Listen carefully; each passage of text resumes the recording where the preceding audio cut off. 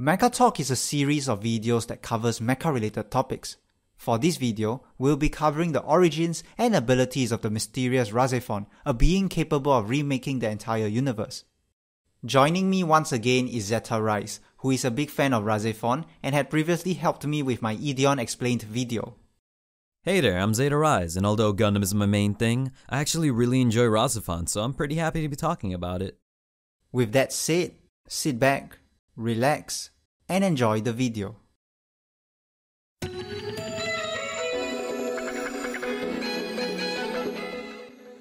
RahXephon was a 26 episode anime series which aired in Japan in 2002.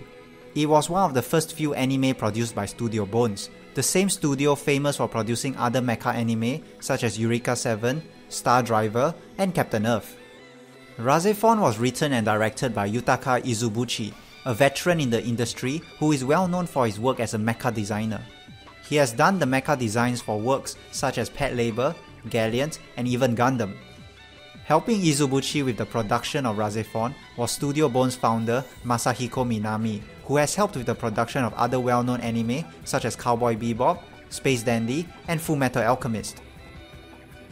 RahXephon tells the story of 17-year-old Ayato Kamina, who lives within Tokyo as an ordinary artistic student.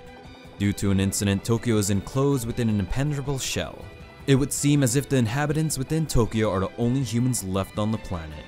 However, mysterious fighter planes manage to invade Tokyo, and in the middle of the attack, Ayato encounters two women.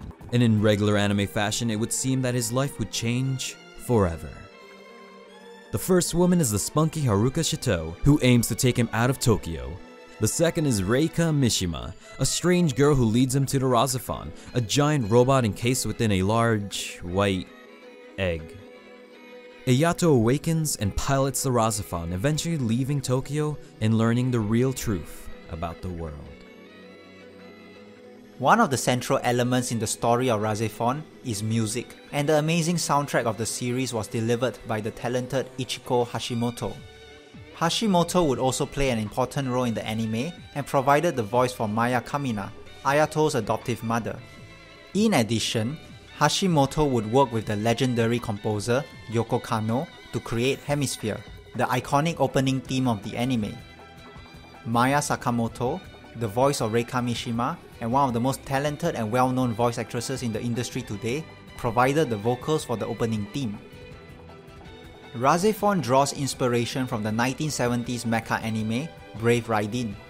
Izubuchi has stated that RahXephon is meant to be a modern retelling of Raideen, and as such, both anime share a few visual and thematic similarities. Although a lot of fans and reviewers really like to talk about the similarities it has to Neon Genesis Evangelion. I mean, like, yeah, both share several similarities on the surface, but they're not the same show. They have very different themes and outlooks when it comes to human relationships. Interestingly enough, Izubuchi is good friends with Hideaki Anno, the creator of Evangelion. Both of them have also worked on shows like Char's Counterattack and the live action Cutie Honey movie. Izubuchi even did some of the design work for the rebuild of Evangelion movies, while Studio Gainax helped with some of the in-between animation work for RahXephon. Overall, RahXephon is unique. It manages to tell a very beautiful story about transcendence, love, and one's inner journey to find a place in this world. RahXephon would prove popular enough to receive several forms of media such as an OVA, a film compilation, novel and manga adaptations, a video game, and a few appearances within the popular Super Robot Wars video game franchise. 2004's Super Robot Wars MX in particular would have RahXephon teaming up with Raideen and the Evas to protect the planet in epic fashion.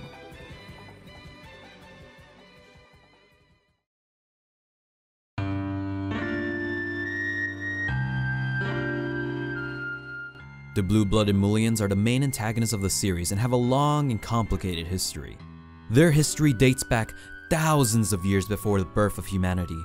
The Mulians live on the continent of Mu, and with their advanced science and technology, they were able to learn about the fundamental building blocks of the universe and how it can be reordered into a desired state. As the great Empire Mu spread across the world, so did their architectural styles, technologies, and culture. Bahbem, a Mulian scientist, would be successful in creating an artificial god known as the Xephon. The Xephon, which is how the Mulians call the RahXephon, can be piloted and controlled by an instrumentalist, a being with Mulian blood. However, when Bahbem tried piloting the Xephon for the first time, it led to the divide of the world, causing the continent of Mu to be trapped in an alternate Earth. As 95% of the alternate Earth is made up of water, the Mulians would use their advanced technology to create floating cities in the air. In addition to the world being divided, the Xephon was also split into two.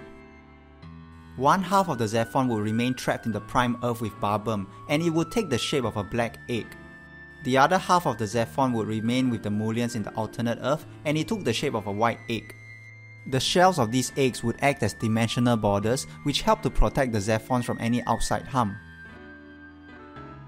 Bahbem found that the changes made by the Xephon system were unstable, and if not properly fixed, both worlds would be destroyed.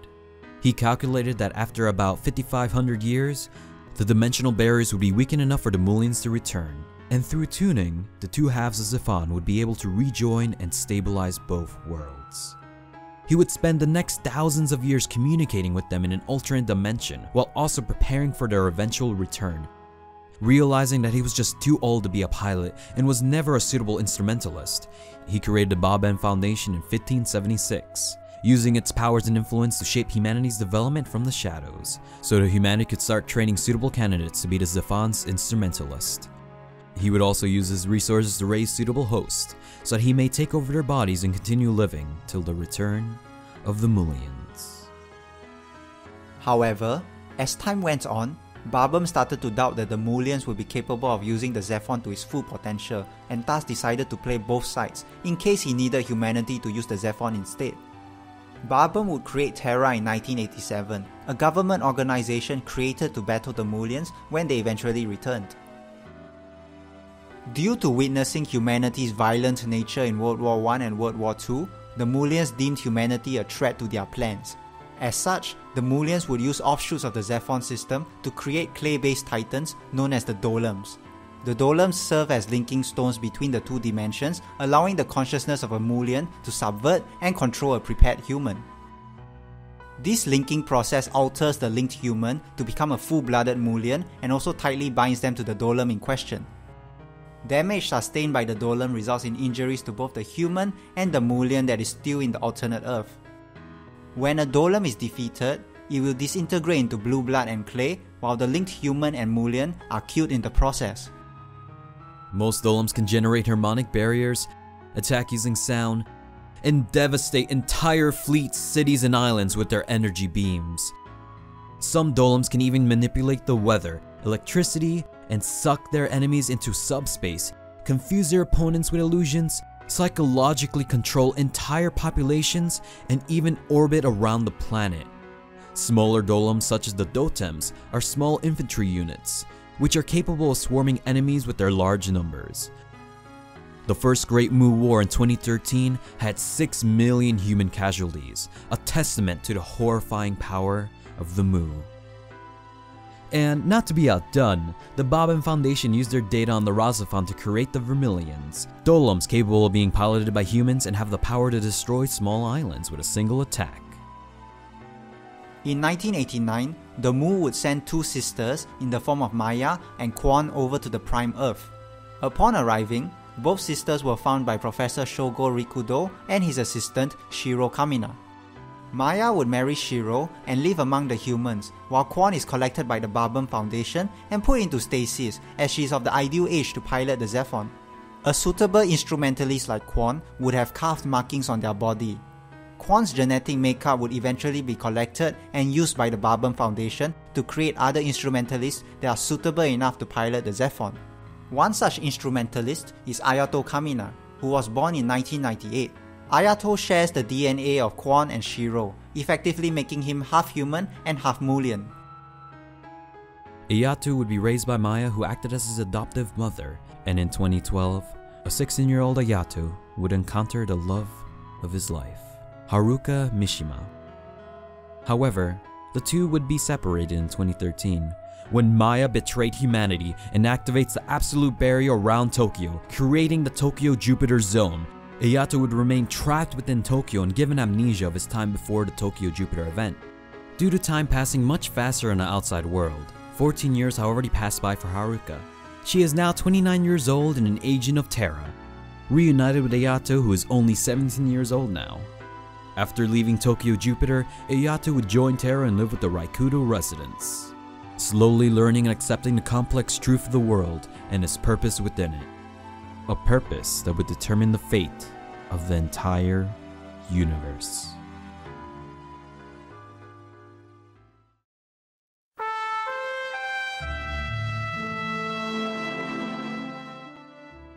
Created by Bahbem, the RahXephon is the titular mech of the series.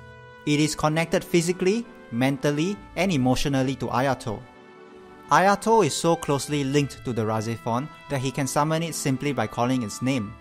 At times, the RahXephon will even awaken on its own to save Ayato if he's in danger and transport Ayato to safety. If the RahXephon is damaged during battle, Ayato will mentally feel the damage as if his own body was damaged as well. While dormant, the RahXephon's face is covered by a pair of large wings attached to its forehead. Normally, its eyes are red, but on occasions would turn golden with visible irises whenever Ayato is able to fully resonate with the RahXephon. This not only improves the fighting abilities of the machine, but allows it to see through illusions. And below its face is an egg-shaped barrier, which Ayato is absorbed through when entering. Ayato is then transported to the cockpit of the RahXephon, which is located somewhere below its chest. Reika Mishima, the mysterious girl who appears throughout the series, is actually the soul of the RahXephon. Her appearance is a manifestation of the person that Ayato's heart truly desires, which in this case is his high school sweetheart, Haruka Mishima. By assuming this form, Reika is able to ensure that Ayato is cooperative and trusting of the RahXephon. Reika can choose to manifest wherever she likes and allow herself to be seen by others if she so desires. In addition, she can even manipulate the minds of others to suit her needs. However, if the instrumentalist decides to reject the soul of the RahXephon, the RahXephon itself will eventually cease to exist. Ayato initially rejects Reika after learning the truth about her, but he later chooses to accept her and pilots the RahXephon once again. The RahXephon stands to be at roughly 50 meters tall and has shown a number of impressive feats and abilities throughout the course of the series. It is capable of flight at speeds that exceeds even those of fighter jets and can even teleport. It is impervious to conventional weaponry although it can still be harmed by dolems if Ayato isn't careful enough. It is capable of close range melee combat and even use its wings and its foreheads as a weapon. When up against the deadly quantum waves of other dolems, RahXephon can counter them by generating its own quantum wave. In addition, it can even produce a quantum corridor which allows it to enter a tunnel to different worlds. This allowed the RahXephon to easily fly in and out of supposedly impenetrable barriers such as Tokyo Jupiter. With its energy manipulation, RahXephon can unleash energy blasts from his hands to devastate his opponents. He can even encase people within energy balls for their protection. RahXephon can generate a harmonic barrier as well as use a rage shield to protect itself from enemy attacks. He can generate an energy sword for close range combat and release a strong pillar of light capable of clearing large masses of clouds. For long range combat, RahXephon can fire light arrows that can move so fast that they break the sound barrier upon being released. With just one of these arrows, RahXephon was capable of killing a Dolem orbiting around the planet in a matter of seconds. By unleashing its powerful voice attack, RahXephon is capable of blowing away large masses of enemies. While powerful, RahXephon has only shown a fraction of its full power in this form. When Mulian cities start appearing all across the planet and both worlds are on the brink of destruction, Ayato makes the ultimate choice. To completely merge with the RahXephon in order to protect his loved ones. This new RahXephon, also known as the Shinsei RahXephon, contains the facial and vocal features of Ayato. It has near instant regeneration, can even darken the clouds around it just with its presence alone. With just its voice attack, it can send shockwaves capable of damaging all those unlucky enough to be within its vicinity. And when it's Rainbow Wave, it can devastate entire continents with just one attack. When the Shinsei RahXephon was first born, Ayato had little control over it and ended up killing both friend and foe without hesitation. When Ayato realized what he had done, he reverts back to his human form to say his final goodbyes to his loved ones. Having fully merged with the soul of RahXephon, Ayato is able to disappear and appear at whim and can instantly recover from any wound. In the final episode, Ayato faces off against Quon, who had returned to the site of the Mulians. Having merged with the other RahXephon that was born from a black egg, Quon had also become a Shinsei RahXephon. Ultimately, Ayato is able to defeat and absorb Quon to become the true and complete RahXephon. Ayato eventually unleashes the Song of Tuning, not only repairing the dimensional split, but also remaking the entire world to his own liking. In this new world, the Mulians never attacked. Ayato was never separated from Haruka. The world is safe, and both Ayato and Haruka grew up to be happily married, having a lovely daughter named Quon. Overall, the RahXephon is a mechanical god substantiated by time and can easily travel across universes. With the ability to tune the world, it can choose to destroy or reshape entire universes to its liking. However, with Ayato as its instrumentalist, RahXephon has the heart of a human and is more than just a machine.